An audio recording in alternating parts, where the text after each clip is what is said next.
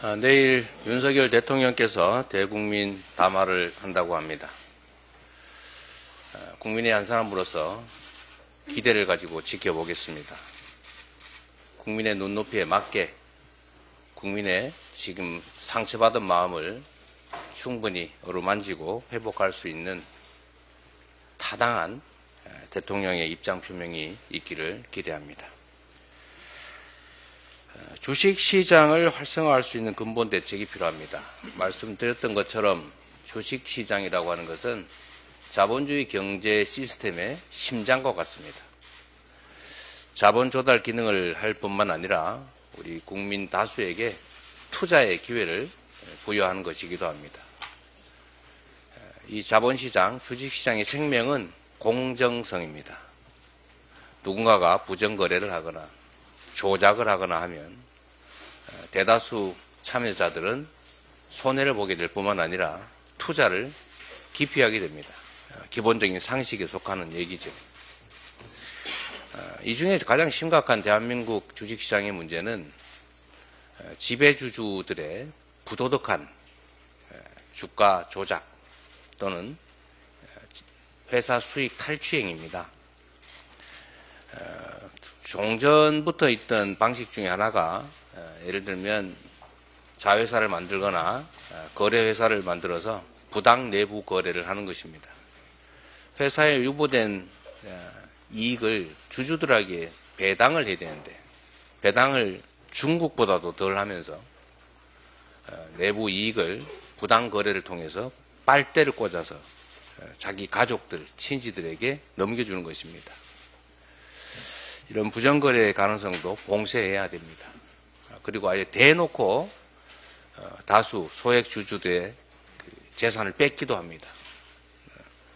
인수, 합병, 분할 등등의 과정에서 어, 우리가 생각하는 것처럼 내가 분명히 엄마소 소유자인데 엄마소가 송아지를 낳으면 그 송아지도 내 거 아닙니까?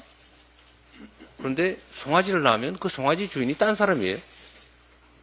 그 송아지를 낳으면 나올수록 손해가 됩니다. 어, 이렇게 해서야 되겠습니까? 어, 소위 물적 분할 등을 통해서 어, 알맹이 빼먹는 이런 부당거래 이게 허용되는 게 말이 안 되지 않습니까? 세상에 이런 시스템이 어디 있어요? 문제는 이게 현행 법률상 허용된다는 것입니다. 그래서 이번에 어, 이런 행위를 할 수 없도록 어, 상법 개정을 해야 됩니다. 모두가 원하는 것 아닙니까? 그 저는 이 나라 건전한 기업인 대부분이 저는 찬성하리라고 봅니다. 공정하게 기업을 운영하고 기업의 경영 이익을 공정하게 나누는 것이 상식인데 설마 이걸 누가 거부하겠어요? 어, 그런데 희한하게도 정부 여당이 반대 의사를 슬슬 내놓기 시작합니다. 왜 반대합니까? 훔치는 걸 허용하자는 것입니까? 훔치는 게 좋습니까? 혹시 훔친 작물을 나누는 관계십니까? 그렇게 하면 안 되죠. 어, 말씀드렸던 것처럼 이번 정기국회 안에 반드시 상법 개정을 해서 지배주주들의 지배권 남용을 막고 주식시장이 정상화되는 길을 찾도록 하겠습니다. 그 외에도 주주들이 공평하게 회사 경영에 참여할 수 있도록 주주들이 회사의 주인으로 제대로 존중받을 수 있도록 하는 각종 소수 주주권 보호를 위한 장치도 만들도록 하겠습니다. 오늘은 개인 투자자 보호 및 기업 지배 구조 개선 TF를 출범을 합니다. 여기서 이사, 이사의 충실 의무, 또 이 대주주의 이사 선임 독점 문제, 지배 구조 개선의 쟁점 과제를 주제로 토론회도 열고 또 가능한 법안도 신속하게 만들고 또 당내에서 법령, 법 개정을 주도하도록 하겠습니다.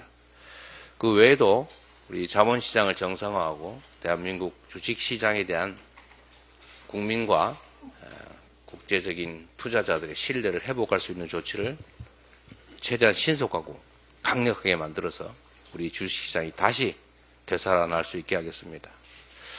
왕년의 개미의 한 사람으로 어, 현재 이 주식시장에 대해서 참으로 안타까운 마음을 금할 수가 없습니다.